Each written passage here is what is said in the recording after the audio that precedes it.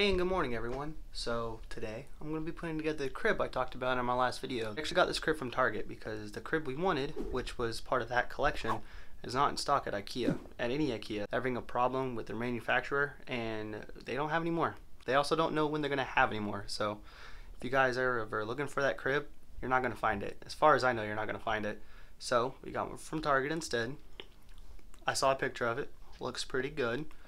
I mean, I wanted the other one, so did Carla, so we're a little bummed out about that, but we got this one instead. So, you know, didn't want to push it. We got our backup plan. We're good to go. But yeah, let me show you which one we got.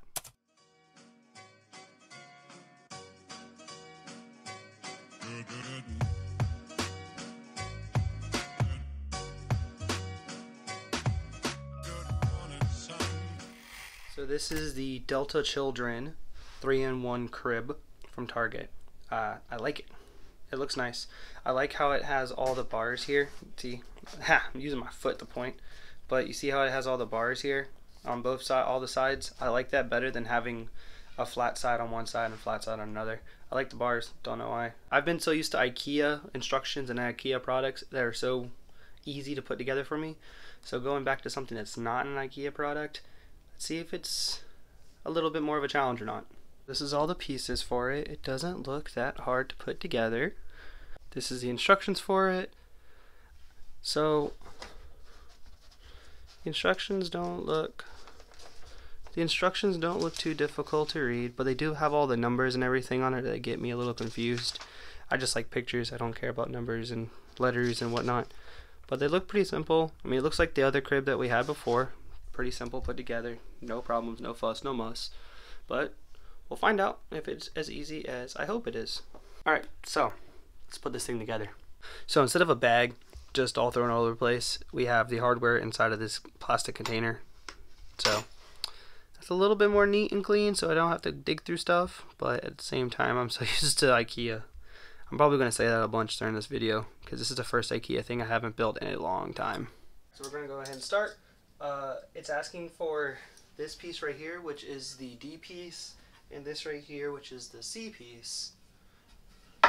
And then we're also going to work on this as well. When they're telling you to do it, they want to make sure the label, you want to make sure the label is facing you. I like that because it tells you which way it needs to be. I mean, it works. So, and then it's also asking for the double A and the double C screws, which are the double A and the double C screws. To attach the screws, we have an Allen wrench as well. I'm not a fan of Allen wrenches. I'd rather just use a normal screwdriver for my bolts and my screws. If they give me an Allen wrench, I gotta use it. The double C screws go on the top side of the crib and the double A screws go on the bottom side of the crib. So the C side goes on the right hand side and the D side goes on the left hand side. So on this crib, they already have some plugs already put in here and built in. I like that. It helps you secure it better while you're bolting it in. That's very different and I like that actually because there's sometimes when you put things together and you use the screws and the bolts, it's a little wonky to try and keep them together while you're screwing stuff in, but this looks like it might be very helpful. Let's see if it is.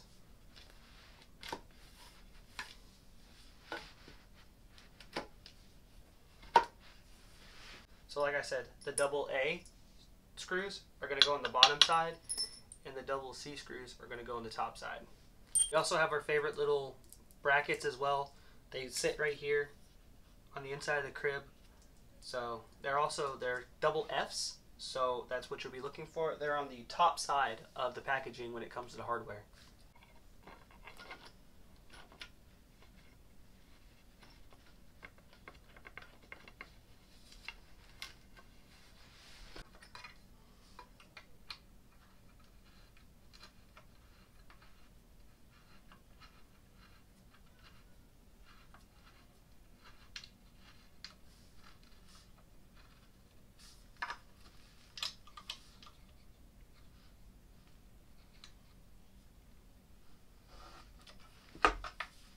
So on the top piece up here, we actually don't have to use one of those security brackets. So I misread that on my part. I'm sorry. But only two for the sides that go down at the bottom with the double A screw.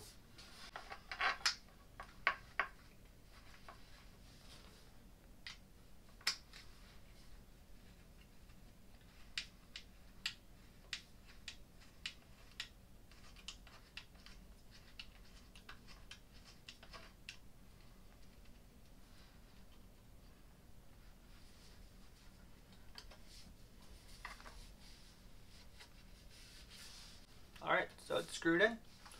Sides on pretty good. I like the way this is gonna look. So the bottoms are secure. They look nice. I like the color.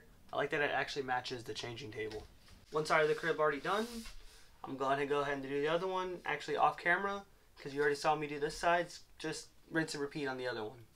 Putting this crib together has been pretty simple. Uh, the biggest thing I liked, it actually matches the color of the changing station that we got. I was worried about not having like cohesiveness to our kids' room, but it's coming along really nicely. Now I'm going to put the crib end tops on top of the pieces I just made, and we'll move on from there. This is the crib end piece, the crib end top piece, and it's just going to go right here on top of the crib.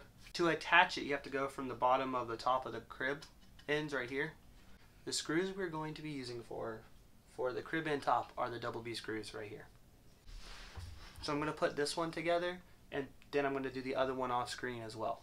Just, it's a little repetitive to do the same thing over and over again. I feel like, I don't know if you guys like it or not. Let me know if you want to see me put the whole thing together. But if you like it this way, let me know as well. Because I feel like making a video too long isn't the best thing ever. But let me know.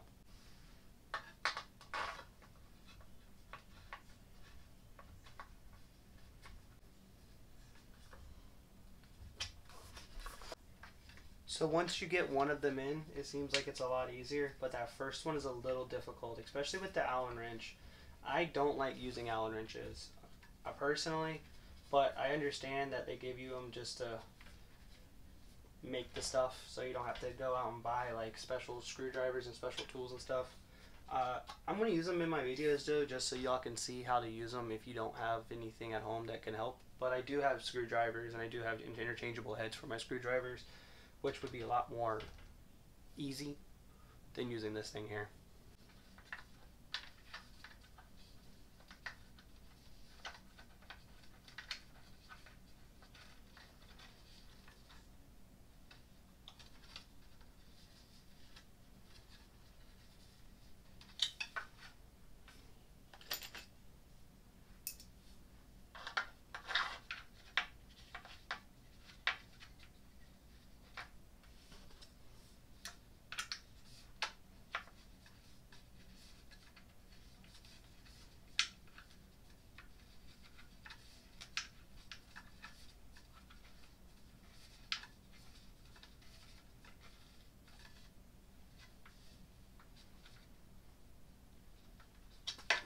That's what it looks like with the crib top, crib end tops on it. I like it. This crib's pretty simple. I remember our last crib, and I didn't really like it that well, but I have a really good feeling about this one. Alright, so like I said, I'm going to do the other one off screen real quick, just to get it done, and then let's continue on putting this crib together. So now we're moving on to attaching all the sides of the crib together. It's calling for the double D screws, the double D screws, and we're going to use more of these attachment brackets as well. Uh, I like this crib so far, guys. I have really good feelings about it. When you start to put all the sides together, you want to make sure that the warning label is on the bottom of the crib because it makes sure it lets you know that the holes that you need to use the uh, attachment brackets are on the bottom side of the crib. Just a little tip.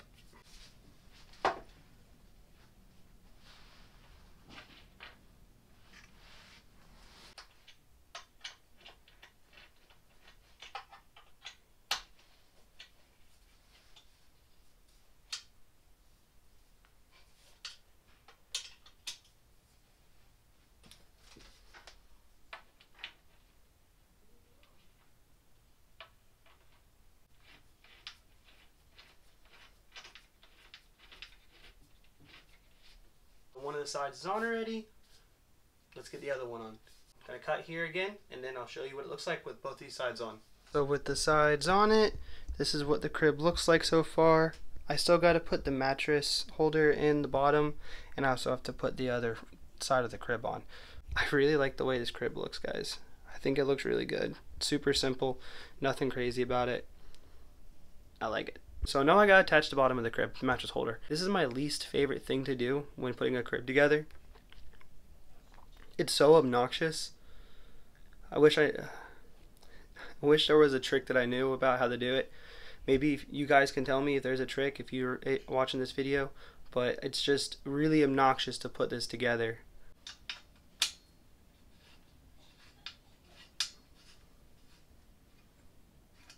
Some one thing I forgot to mention is the double E screws that you're going to use to put the bottom of the crib on that holds the mattress.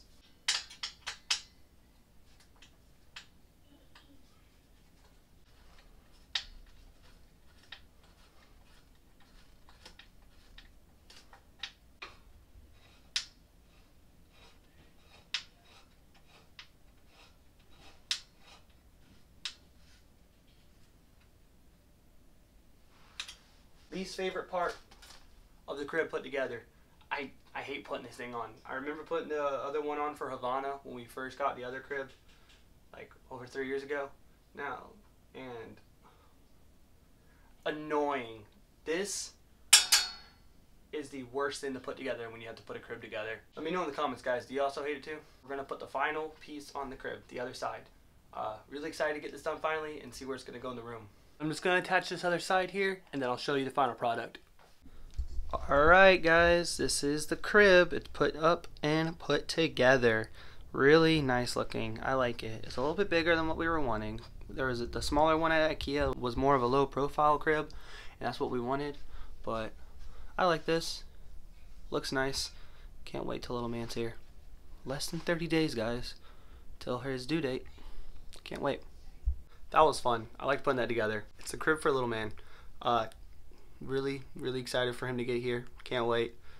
Uh, my first son. Can't wait. special. Like always, guys, like and subscribe and hit the notification button to always know when we put up new content.